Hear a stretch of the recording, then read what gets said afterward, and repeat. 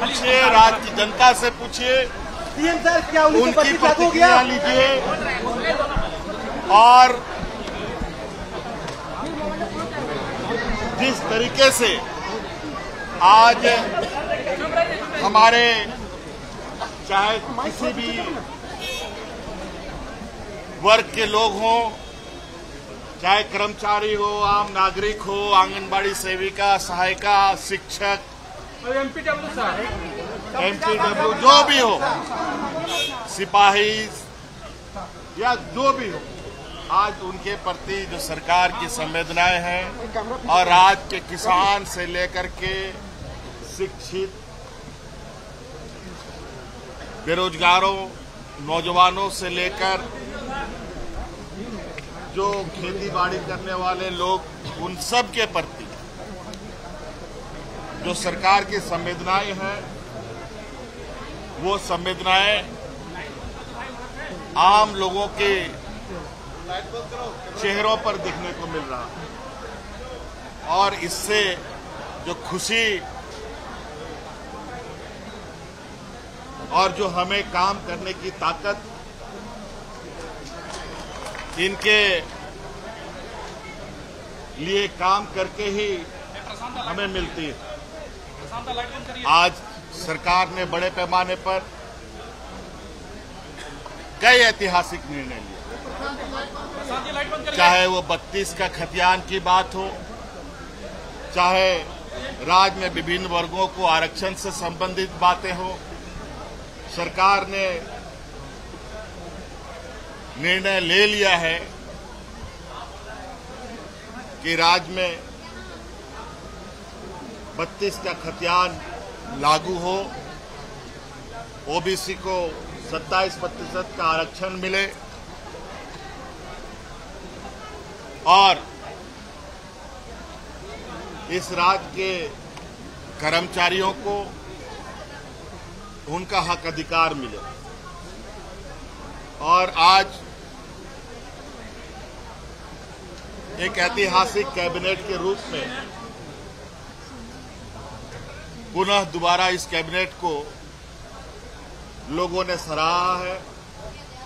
आज लोगों की उत्साह जो थोड़े समय में आज क्या क्या सरकार निर्णय लेगी, किस पर मुहर लगेगा, ये किसी को नहीं पता। लेकिन क्षण भर में इतने सारे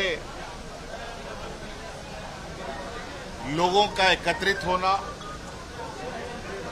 निश्चित रूप से कहीं ना कहीं सरकार की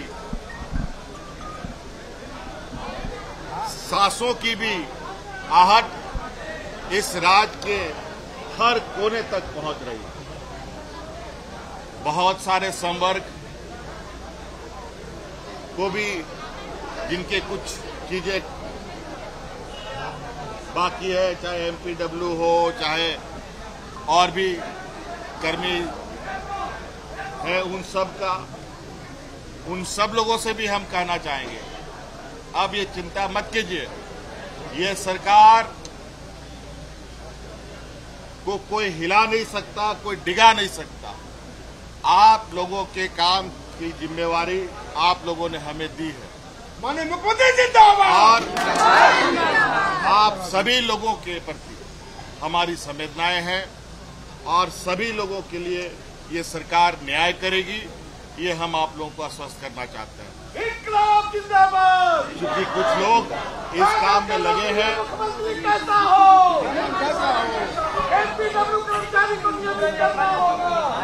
इस राज्य में कुछ लोग जो हमारे विपक्ष के साथी वातावरण में ऐसी दूषित हवाओं को फैलाने का प्रयास कर रहे हैं जहाँ पर हमारे कर्मचारी संघ काफ़ी डरे सहमत से अपने आप को महसूस कर रहे हैं कि सरकार अब गई कि तब गई। और होड़ लग गया है कि हमारा काम पहले हो हमारा काम पहले हो। हमारा इस राज्य में हर व्यक्ति एक समान है। हमारे लिए कोई आगे कोई पीछे नहीं। और सब लोगों के लिए हमारी चिंताएँ हैं। आप अस्वस्थ रहें। और बाकी सभी चीज़ें अपने कार्य अनुरूप, समय समय के अनुरूप चीज़ें आगे बढ़ाई जा रही हैं, बढ़ रही हैं। तेज़ी से हम लोगों ने सभी विभागों को निर्देशित किया है। सभी विभागों में उलझी हुई चीज़ों का समाधान जल्द से जल्द निराकरण करें ताकि राज्य को विकास की गति में और तेज़ी लाया जा सके। आज आप लोगों ने देखा, आज हिंदी दिवस भी है।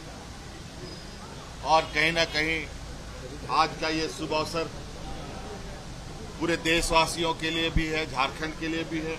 और आज इस शुभ अवसर पर कई सौगातें हमारे झारखंड वासियों को सरकार ने दिया है। मेरी ओर से बहुत बहुत शुभकामनाएँ बहुत बहुत धन्यवाद